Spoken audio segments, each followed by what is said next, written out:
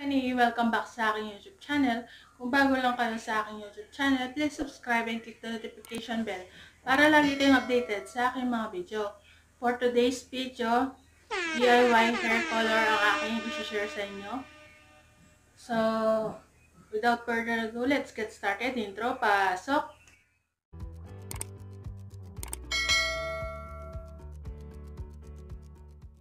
Ngayon, kagabi, pinag-isipan ko magtamag ang kung anong style ng color ang aking gagawin.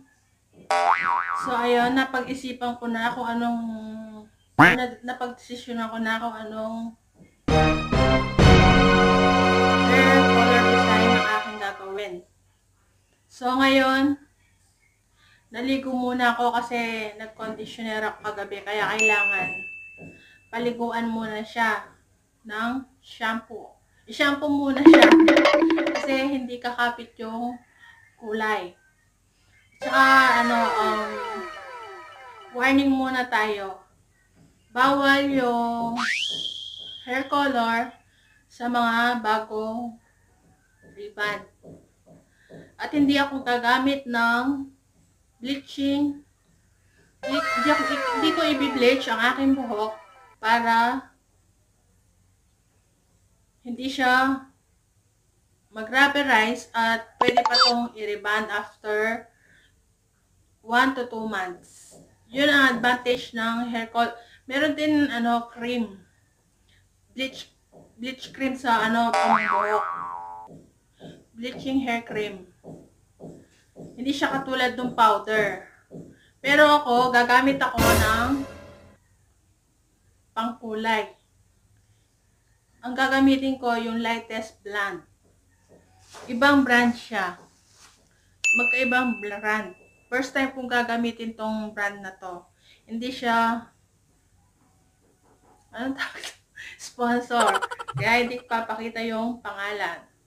So, number 9 siya. Number 9. Lightest blonde. Tapos, hindi sponsor to ah.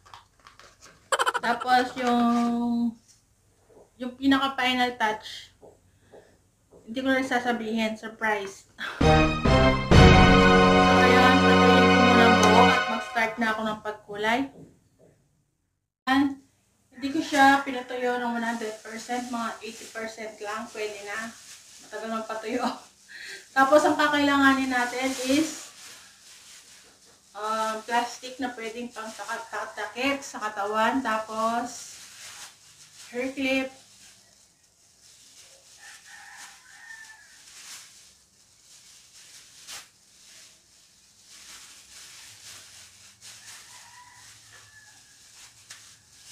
Para hindi malagyan ang ating katawan. Ayaw maipit.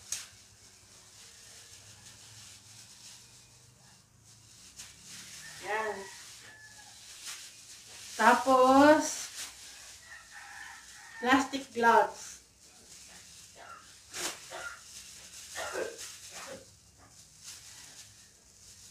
Yan na natin yung mga background sound.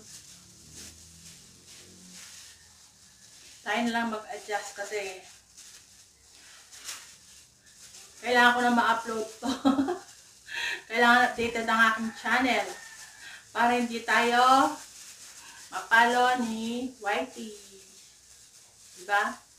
Mahirap mawala ng channel. Wala ka na aabangan na revenue.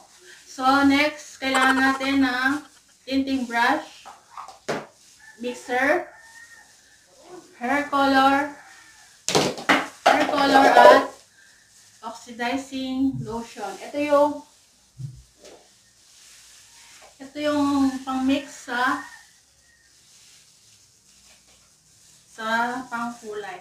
So, start ko na.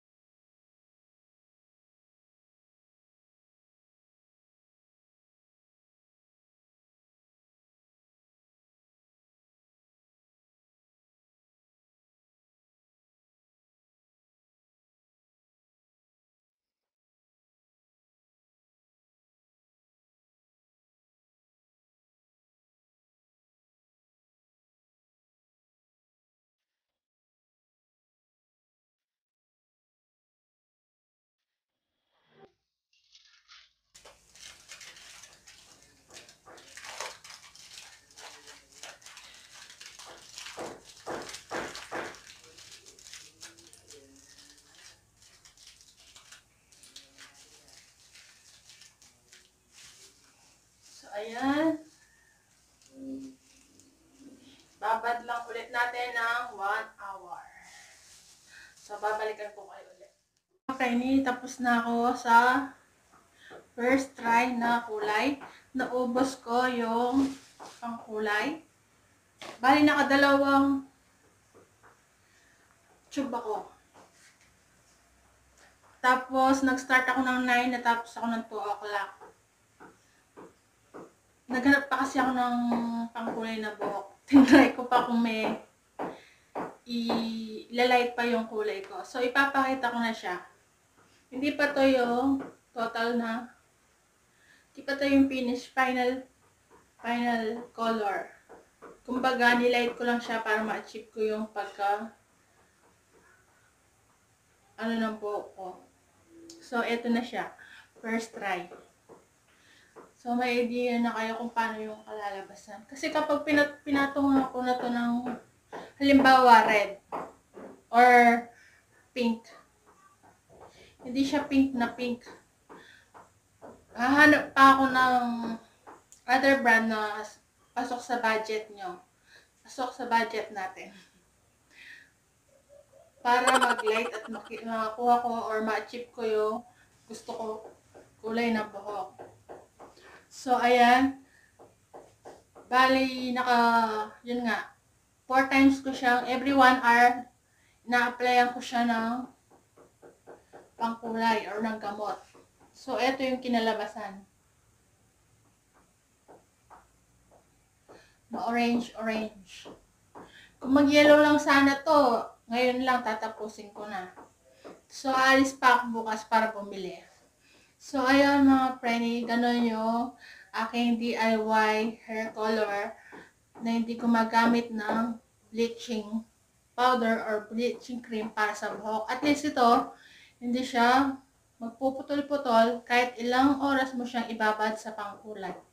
So, bukas naman ulit, itatry ko naman yung other brand para mag-light pa to. So, ayun. That's all for now. Thank you for watching. See you on my next vlog. Bye!